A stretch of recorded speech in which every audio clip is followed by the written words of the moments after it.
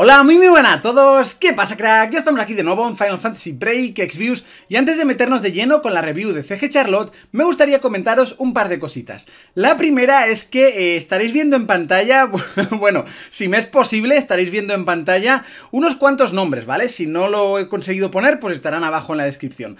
¿Qué son estos nombres? Pues bien, estos nombres son las personas que invocarán en el directo de mañana por CG Charlotte, ¿de acuerdo? El directo empezará a las 10 hora española de la noche y durará aproximadamente unas 3 horas, ¿vale? Así que si vuestro nombre está aquí, aseguraros de dejarme el Skype abajo en la descripción para que podamos charlar y asignar horarios y demás, ¿vale? Vuestro nombre no está aquí, no os preocupéis, ¿vale? No os preocupéis, eso no quiere decir que no vayáis a tirar, simplemente he querido cerrar la lista para asignar horarios y demás, ¿vale? Pero eh, siempre hay gente que a lo mejor o no puede venir y tal, así que os recomiendo que estéis activos en el directo y tengáis eh, lo que es el Skype y el emulador listos por si algún momento se queda vacío, eh, pues poder entrar directamente, simplemente me lo decís por Skype, oye, ya estoy listo, y directamente pues os metería yo en, el directo, ¿vale? Así que no hay ningún problema.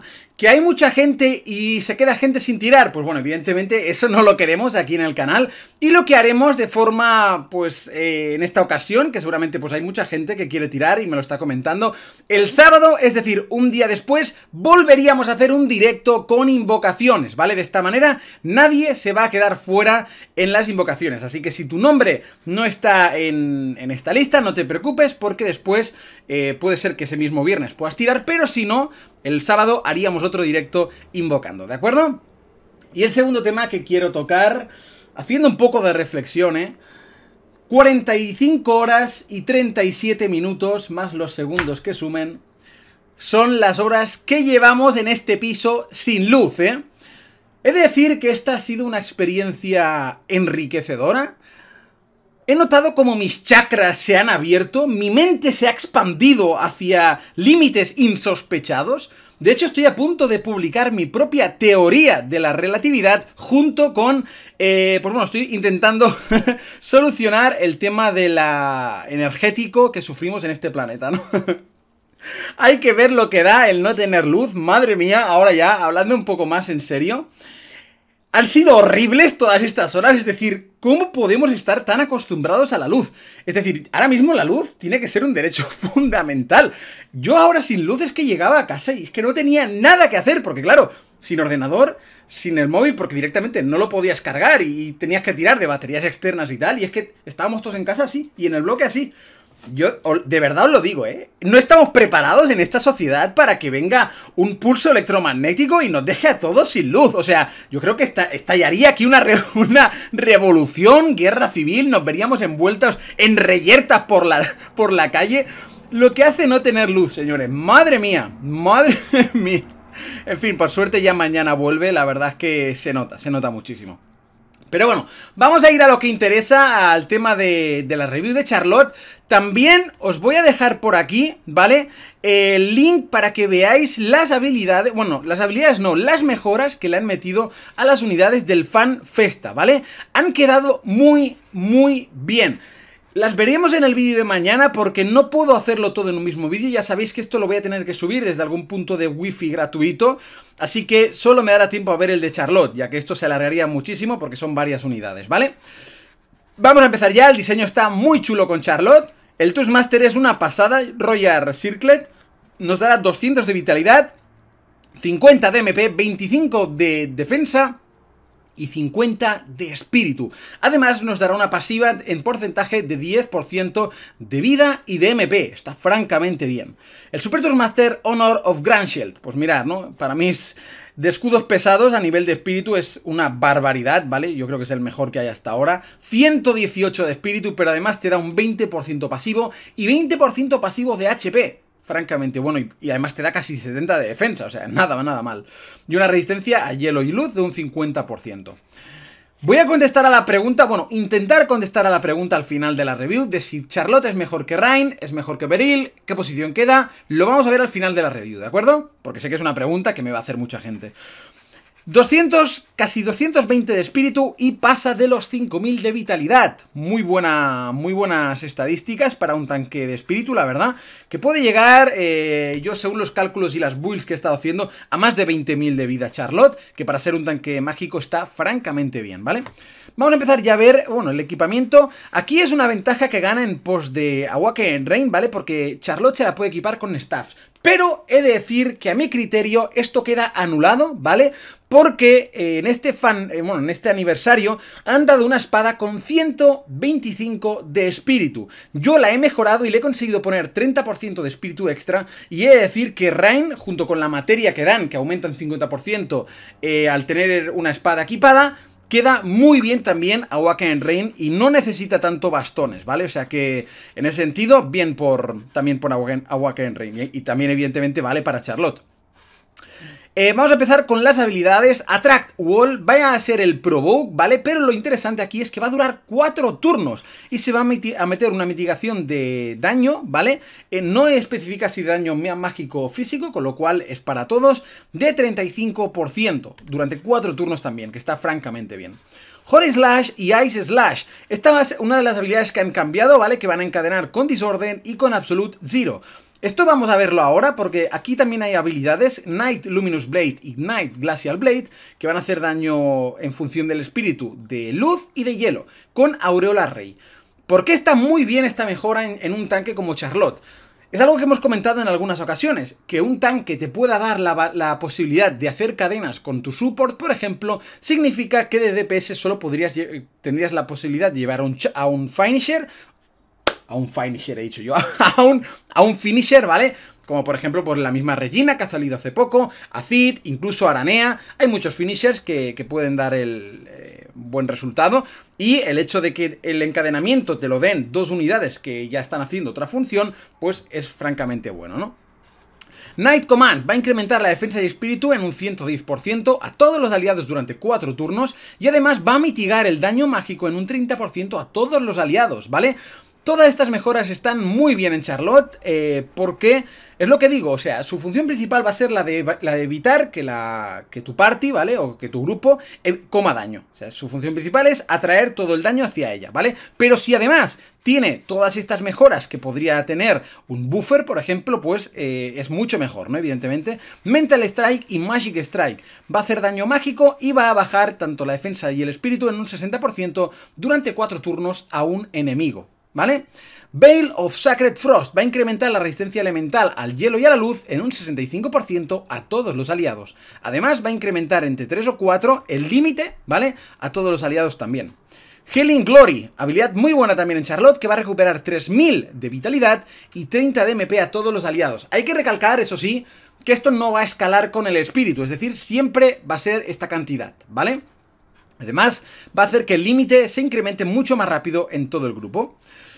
Por último, Night of Nights. Eh, esta va a ser la habilidad de cobertura en área, de daño mágico, ¿vale? De un 80% y con una mitigación del 50 al 70%. Esto, todas estas habilidades hasta el nivel 6, ¿vale? O sea, es decir, que con una ya podríamos hacer todo esto, que me parece muy bien. Ahora bien, si la despertamos así de estrellas, tendremos Light of Grand Shield, habilidad que va a estar disponible desde el turno 1 y va a tener 5 turnos de cooldown. Va a mitigar, ojo a esto, va a mitigar un 75% el daño mágico a todos los aliados. Brutal esta habilidad que junto con su límite me parece de lo mejor de esta unidad, ¿vale? ¿Por qué creo que esto es brutal? Porque es algo muy común en los trials encontrarte que en cierto turno el jefe, si haces, por ejemplo, eh, la atacas con cierto elemento o pasa un turno y no le has hecho tal, te meta una gran cantidad de daño. Pues imaginaos que no puedes sellar esa habilidad en ese momento. Con esta habilidad te aseguras prácticamente de no morir, porque un 75% de mitigación es una barbaridad, ¿eh? Una barbaridad. Además te va a incrementar también la resistencia al hielo y a la luz en un 100%, eso sí, durante un turno, ¿vale? Esto entiendo y está muy bien que sea durante un turno, pero esto igual lo, hubiera puesto un par de turnos o tres, ¿vale? Y además nos va a dar acceso durante cuatro turnos a Divine Pushman, Freezing Pushman, ¿vale? Que es eh, esto de aquí. Va a hacer también daño en escalado con espíritu de 7.5 y va a hacer cadena con disorder y absolute 0, ¿vale? Eh, va a hacer daño mágico y va a bajar la resistencia elemental, depende de qué habilidad uses. ¿vale? Por último tenemos eh, estas dos habilidades que ya las hemos visto antes. Vamos a pasar a ver las pasivas, ¿vale? Incremento de vitalidad en un 20%, 7% de recuperación de PM por turno, ¿vale? Esto está muy bien. Se autocurará 60 de vitalidad, pero esto sí que va a tener en cuenta el espíritu para ver lo que te vas a curar cada turno, ¿vale? Está muy bien. Va a incrementar el daño físico contra los no muertos, ¿vale? Al igual también contra los killers, en, en contra los contra los killers, contra los demonios en un 50%, va a incrementar el espíritu y la vitalidad en un 30%, y va a tener de forma pasiva un 50% de arrastrar los ataques ya hacia ella de forma natural, ¿no? Que esto me gusta mucho que lo tengan los tanques. Va a incrementar la resistencia de hielo en un 70%, la resistencia, eh, el incremento de MP, la defensa y espíritu en un 20% y el MP en un 30%, la oportunidad de contraatacar con ataques normales, ¿vale? En un 40%, que está bien que sean ataques normales porque esto va a hacer que la barra de límite se llene más rápido en toda la party, ¿no? Eh, tendrá, cada turno va a generar ella misma dos piedras de límite, cosa que está muy bien. Va a tener resistencia a confusión y petrificación y también a charm. Muy, muy importante esta resistencia que lo hace muy buena. Ya sabéis que charm y stop son de las resistencias que más se buscan en una unidad.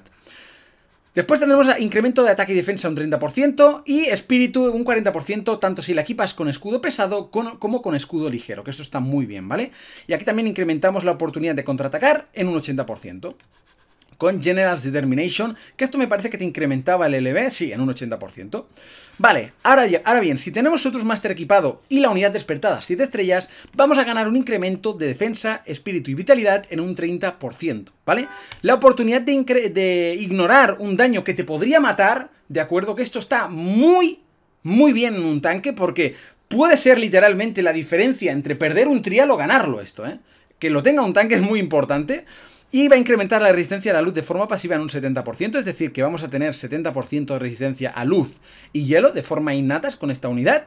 Incremento de espíritu un 20%, incremento de defensa, vitalidad y MP en un 20%, la oportunidad de contraatacar se suma todavía más y cuando la vitalidad esté por debajo del 60% vamos a incrementar de forma natural el espíritu en un 150%, ¿vale? También muy interesante.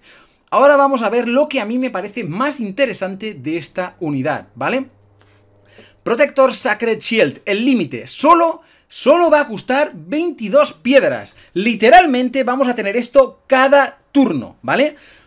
¿Pero qué hace esto? Oportunidad de proteger a todos los aliados del daño mágico en un 80%, mitigando de un 50 a un 70% durante 4 turnos. Esto está muy, muy bien. Pero atención a esto, ¿vale? Mitigate damage taken en un 50%, es decir, vamos a mitigar en un 50% todo el daño que va a recibir el grupo. El grupo, ¿vale? Durante cuatro turnos. Durante cuatro turnos. Y esto lo vamos a tener cada turno. Es por esto, ¿vale? Por esta habilidad y por la habilidad de cooldown que hemos visto anteriormente, que creo que esta es una grandísima, grandísima unidad. Y no me extraña, ¿vale? No me extraña que en Japón pues siga siendo muy viable ir con, esta, con este tipo de tanques porque francamente está muy bien, ese 50% de mitigación de daño, ¿eh? Y lo vamos a poder spamear cada turno si queremos. Es una barbaridad junto con las otras cosas interesantes que nos puede dar, ¿no? Esta unidad. Ahora bien, Tapu, tengo a Rain, no tengo a Rain, tengo a Beryl. ¿Qué debo hacer? ¿Puedo invocar por ella? Ya sabéis que esto siempre es muy relativo, ¿vale? Porque va en función siempre del grupo eh, que pueda tener cada persona. Yo, por ejemplo, tengo a Waken Rain. Y un paso de 25.000 de lápiz no haría, igual no haría por ella porque no me sobran. Si me sobraran sí que lo haría, ¿vale? Pero como no, me sobran y no puedo llegar al último paso, que es donde me la aseguran, pues prefiero no hacerlo, ¿vale? Pero Definitivamente CG Charlotte es una muy, muy buena unidad. Y si tiene recursos de sobra, yo sin duda iría por ella. Es cierto que ahora mismo Elena está a la vuelta de la esquina, pero han mejorado a, las unidades del FanFesta, eh, por ejemplo, que aquí lo, aquí lo tenemos, ¿vale? Eh, uy, va. ¿Y esto cómo me deja cargarlo? Si no tengo internet, literalmente. O sea, esto no lo he dicho, pero eh, no sé si verá, pero estoy sudando, pero como un cerdo además, porque eh, no tengo internet en casa, evidentemente, ¿no? Entonces he tenido que ir a un punto de wifi, cargar estas páginas, venir aquí, grabarlo y luego tendré que volver a ir a otro sitio para subir este vídeo. Y me sorprende mucho que haya podido tirar. Bueno, supongo que es porque habré ido antes para allá y ya estará precargado, ¿no? En fin, me queda ahora mismo flipando.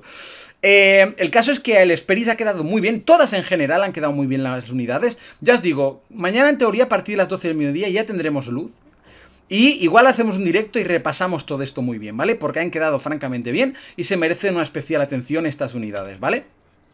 Volviendo al tema de, CG Charlotte y con Elena un poco en el, en el horizonte, yo ya os digo que no, no, tengo pensamientos de tirar por Elena, es una unidad más de atacante físico y es por las que menos hay que tirar, ¿no? Porque al fin y al cabo estas salen como churros y siempre eh, va a salir una que en dos semanas va a estar mejor, además en la global, ¿no? Pero por CG Charlotte sí que si tuviera recursos de sobra tiraría, ¿vale? Me, gusta muchísimo, tiene grandísimas habilidades, el diseño está francamente bueno. Incluso a día de hoy en Japón es, viable usarla, con lo cual todo hace que sea propicio tirar por ella, ¿de acuerdo? Antes de despedirme, me gustaría pedir disculpas una vez más, ¿vale? Eh, ya sabéis que no, esto lo estoy haciendo con un portátil. Ignoro cómo va a quedar la luz, la cámara no es la misma, ¿vale? Tengo una linterna que me está enfocando en toda la cara para que, para que al menos se vea un poquito. Y nada, eh, agradecería un like, ¿vale? Eh, por el vídeo. Si no lo queréis compartir, pues no lo comportáis, porque este no va a ser, no quiero que sea esta la calidad de mis otros vídeos, pero bueno. Eh, espero que os haya gustado la, review. Lamento una vez más, pues esto, que, sea así, ¿vale? Porque... O sea, insisto, porque no sé cómo va a quedar. Luego a lo mejor pues escucha bien y tal. Y puede, puede quedar un vídeo decente, ¿no? Pero como no sé cómo va a quedar, finalmente pues prefiero disculparme de antemano y ya está, ¿vale? Espero que os haya gustado el vídeo, que os haya sido útil y mañana os veo a todos en el mega directo de 3 horas por CG Charlotte.